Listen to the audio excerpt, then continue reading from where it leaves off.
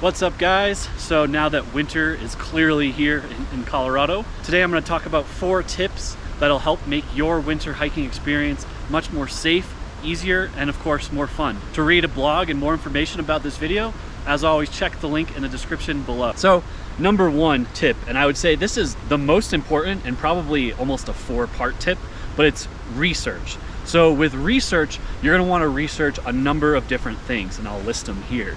Number one, weather. That's super important in the summer, fall, spring, always important too, but in the winter, weather could literally kill you if a storm front rolls in and you're not prepared for it.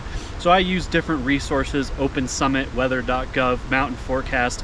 You can check out everything I'm using in the links below, but that's really important. The things that I look for, obviously snow, precipitation in general, but winds and temperatures as well.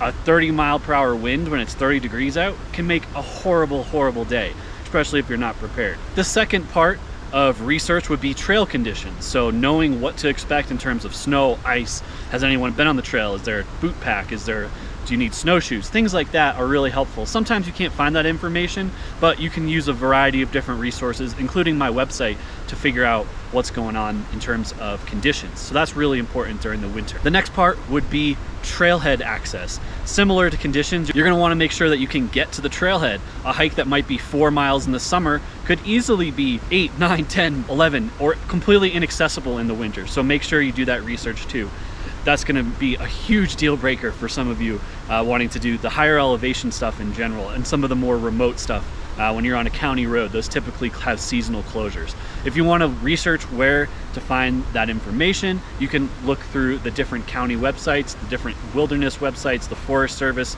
or of course my site and some others on the web on the internet that'll give you that kind of information on seasonal closures. Finally and I'll talk more about this in a bit, but researching if your hike goes through avalanche terrain, and part two with that would be if that, what the avalanche conditions look like in that area. So avalanche terrain and what avalanches are, that's a whole nother video. But in general, I use CalTopo to see what the slope angle is. And then I also use Colorado Avalanche Information Center to check out the latest forecast, observations, things like that.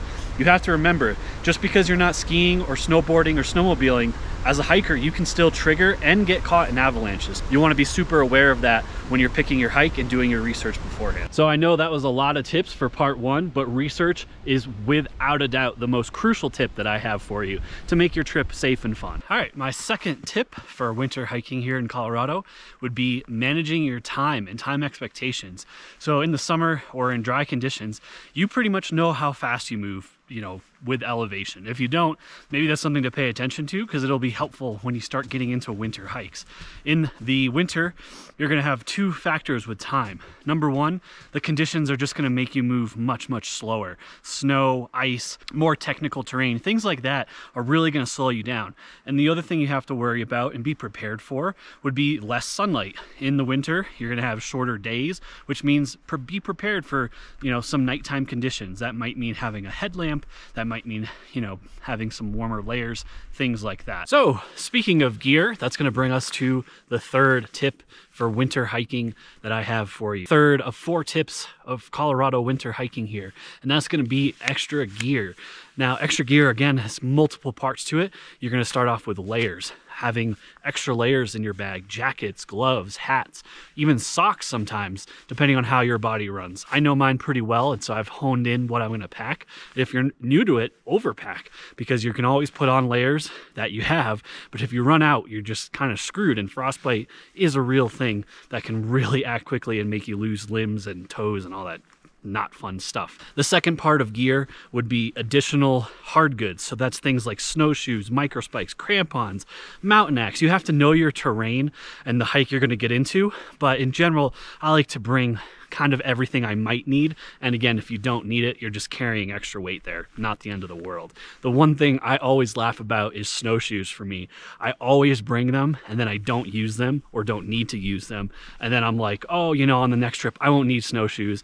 And then I'm post holing up to my waist and it sucks and I wish I had them. Speaking of gear, extra things that you might even never use but are good to have when it's windy. Things like goggles. You know, if it's a really windy, snowy day, the wind will just eat through everything you have. And having something like goggles where you never think you actually need it, and then you are like, wow, what a bonus thing.